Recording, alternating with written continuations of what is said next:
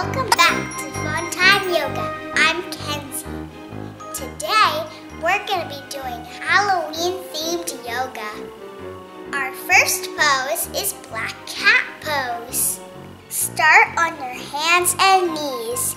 Your back should be flat. And your neck should be in a natural position while you look down towards the floor.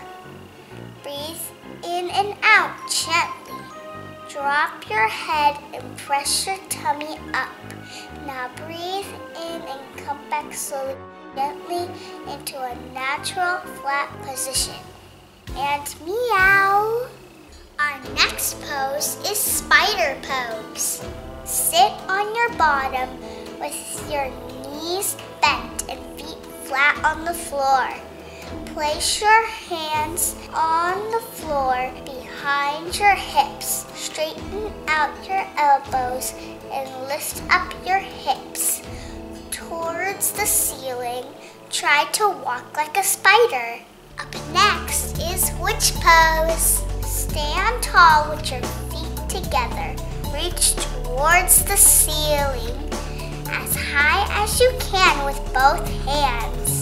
Slightly bend both knees and hold the position. Think of yourself as a witch flying on a broom. Now we're going to do the ghost pose. Start in tall kneeling.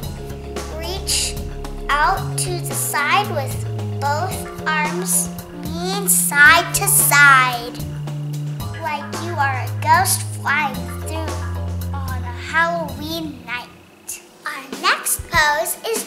jack-o'-lantern pose. Lay on your back and bring your knees into your chest. Reach down and grab the outsides of your feet. Breathe out and gently pull your knees into your chest. Breathe in and out and release. Pose is the spooky tree pose. Standing on one foot. Bring the other foot to rest on the standing leg above or below the knee. Think of your standing leg as a tree trunk rooted into the ground and extend your arms, tree branches. Now sway side to side if you can, like a tree blowing in the wind. Thank you for joining me for Fun Time Yoga. If you like this video, give it a thumbs up. Check out these yoga videos next. I have a Dory themed yoga and a Zootopia themed yoga. Thanks for watching. See you next time.